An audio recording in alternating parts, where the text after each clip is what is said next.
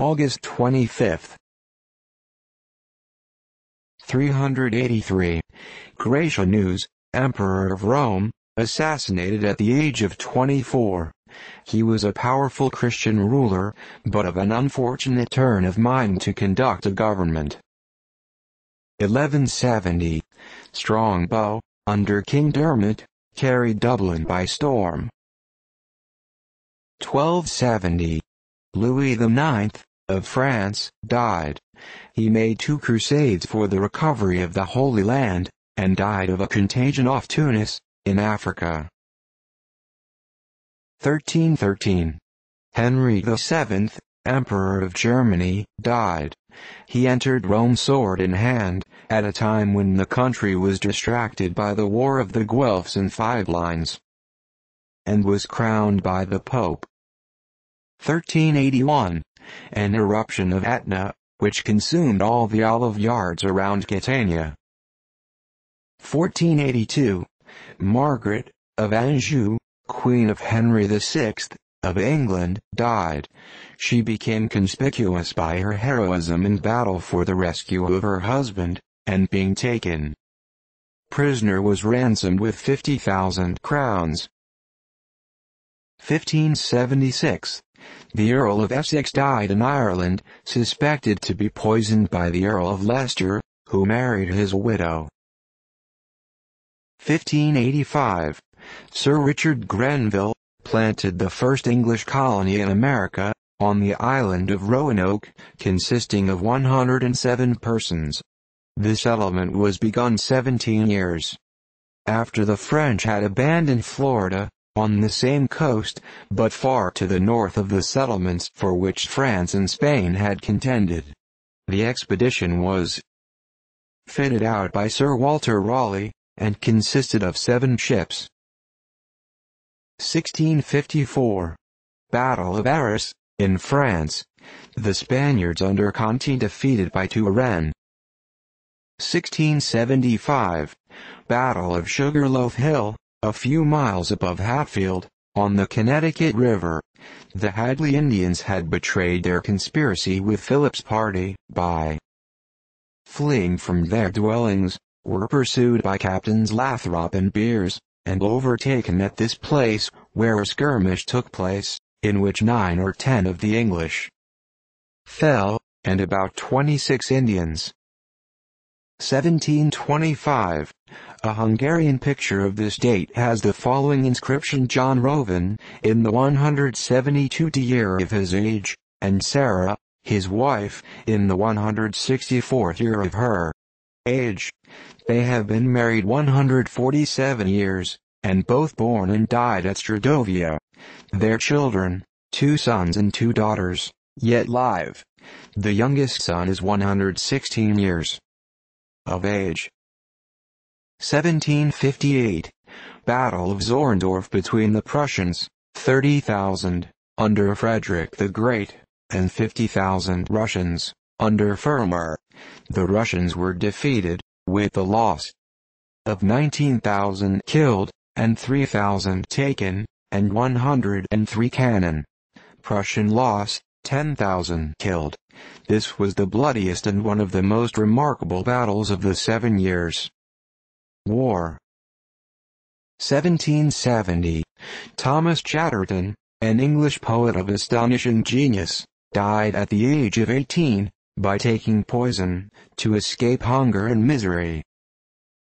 1776. David Hume, the Scottish historian, died. His History of England is a work of great merit, and has long been the most popular work of the kind. 1782. A large foraging party of British attacked at Combahee, in South Carolina, by the Americans under General Gist and Colonel Lawrence, who captured a schooner. Lawrence was mortally wounded, and died aged 27. 1788. Archbishop Sens, Premier of France under Louis XVI, seeing the finances of the state utterly desperate, and fearing for the king and more for himself, retired from the administration, and left the monarch, while bankruptcy and famine threatened the kingdom, to manage as he might, amid the storms which the measures of the minister himself had provoked to the uttermost. He fled to Italy with the greatest expedition, after having sent his resignation to his unfortunate sovereign. 1789. Mary Washington, mother of the illustrious general, died at Fredericksburg, Virginia, aged 82. 1796. Lafayette and other prisoners released from the castle of Olmutz, at the requisition of the French government. 1797. John Baptiste Louvet de Couvray, a French advocate, died, distinguished as an actor in the Revolution, and an author. 1799. John Arnold, eminent for his improvements in the mechanism of timekeepers, died. He was the inventor of the expansion balance and detached escapement, and was the first artist who applied the gold cylindrical spring to the balance of a timepiece. 1800. Elizabeth Montagu died. An English lady of considerable literary celebrity. 1803. Tate Wilkinson died. An English comedian and manager, often noticed by the writers of his day. 1804. Fifth attack on Tripoli by the Americans under Commodore Preble. 1805. John Skey Eustace, a distinguished officer of the Revolution, died, aged 45. In 1794 he went to France, and commanded a division of the French army in Flanders. 1806. John Philip Palm, a Nuremberg bookseller, shot for a publication against Bonaparte. 1807. Edward Preble died, the brave and intrepid commodore of the American fleet, which in 1804 subdued Tripoli. 1808. Action between the British and Swedish squadron under Admiral Hood, and the Russian squadron, in which the latter was defeated. 1810. The solemn inauguration of the column to the glory of the Grand Army in the Place Vendôme, Paris, took place on the 15th. 1812. The French raised the siege of Cadiz, which had long resisted their efforts.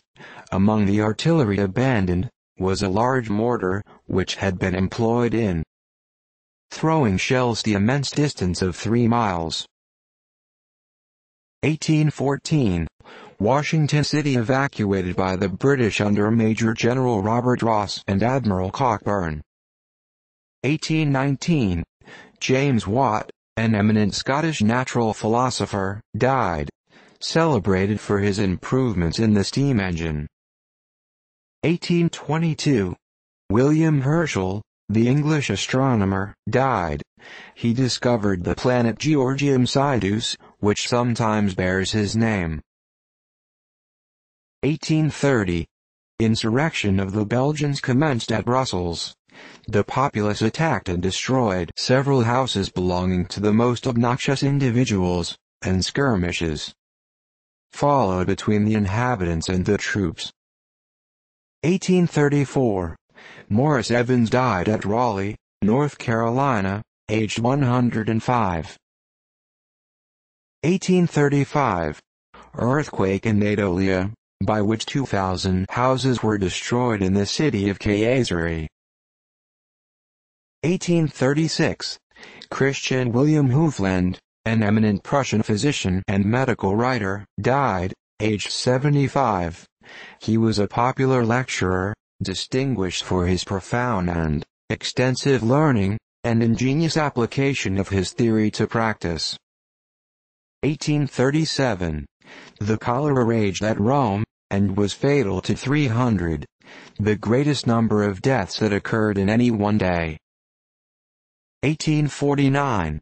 The French admiral, de Tromelin, took possession of and dismantled the fortifications at Honolulu, Sandwich Islands, the government having refused to comply with the demands of the admiral. He relinquished the possession three days after. 1854. The city of Troy, New York, visited by a destructive fire, which consumed more than a hundred houses and manufactories.